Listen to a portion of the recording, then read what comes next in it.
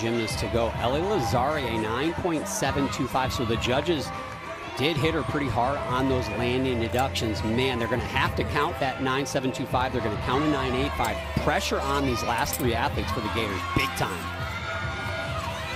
Skylar's just a freshman, but you could put her anywhere in the lineup, and I think she would make her routines. She is so solid.